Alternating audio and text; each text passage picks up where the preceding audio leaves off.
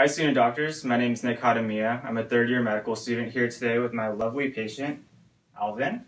And today we're going to be talking about the diabetic foot exam. Now like any examination, it's really important to start with a thorough history. And in particular for a diabetic foot exam, some important questions that you want to ask is if there's been any changes to the patient's foot since the last visit, if they have any previous history of ulcers or current ulcers, and you also want to ask about their footwear and their toenails. So this is really important because footwear and toenail issues are actually the number one causes of foot ulcers. And lastly, you also want to make sure that you have the latest HbA1c value. So after we take a thorough history, we want to do an inspection and we'll go through some more details about what that consists of a little later. And after the inspection component, we're going to move on to our 10-point diabetic foot exam.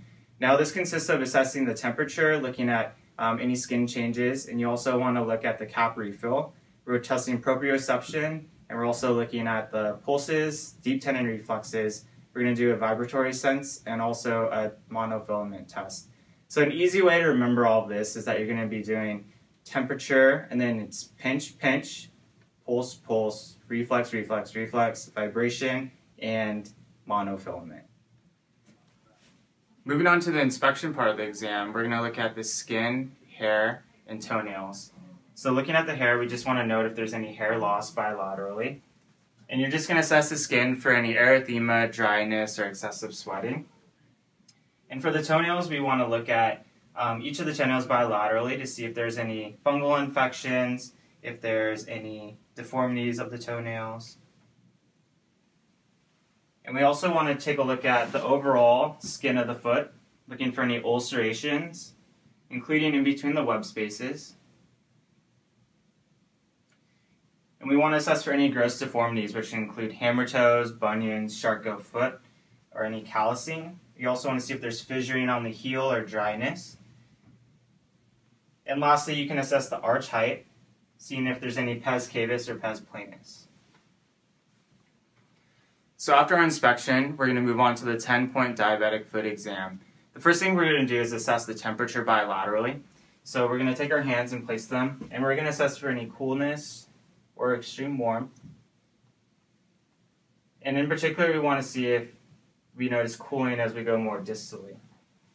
After we assess the temperature, we're going to look at capillary refill. So this is the first pinch. So you can assess this on the big toe. And anything within two seconds is considered to be normal. And the last pinch we're going to do is proprioception. So what we're going to have our patient do is close his eyes. I'm going to move his big toe up or down, and I'm going to have him tell me if it's up or down. Up, down, okay. down, up. Awesome. So after our two pinches, which is the cap refill and the proprioception, we're going to move on to our pulses.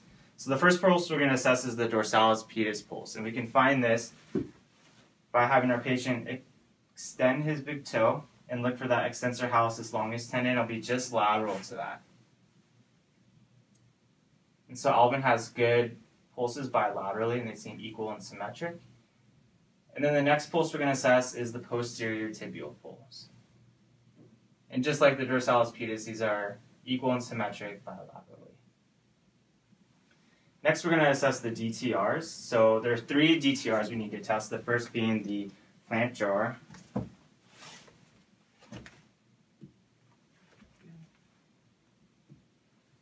We're also going to check the Achilles. Good. And then the last one we're going to do is the Babinski.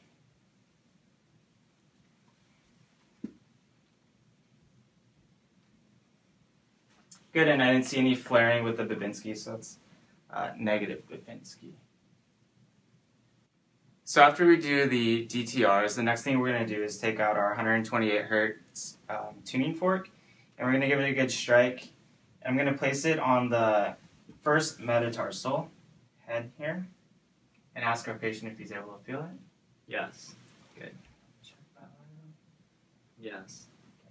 Good. So next we're going to move on to the monofilament test. And to do this, we're going to use a 10 gram monofilament. The gram stands for the weight of the fishing line. And we're going to be testing 10 different points on the bottom of our patient's foot. But before we do that, we want to educate our patient about what we're about to do. So I'm going to tell Alvin Um, Alvin, I'm going to be using a monofilament to test 10 different locations on your on the bottom of your foot. Just let me know if you're able to feel them. It shouldn't hurt at all. All I'm going to do is just press this down on your skin, and you'll just feel a light touch, okay?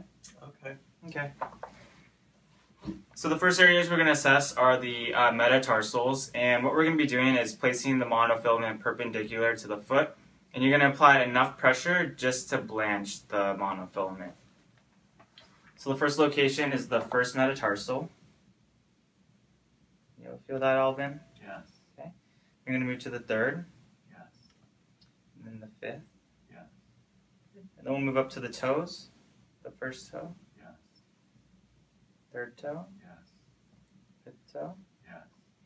All right, and then we're going to go into the, the midline region of the plantar arch here. And move out laterally Yes. and down to the calcaneus. Yes.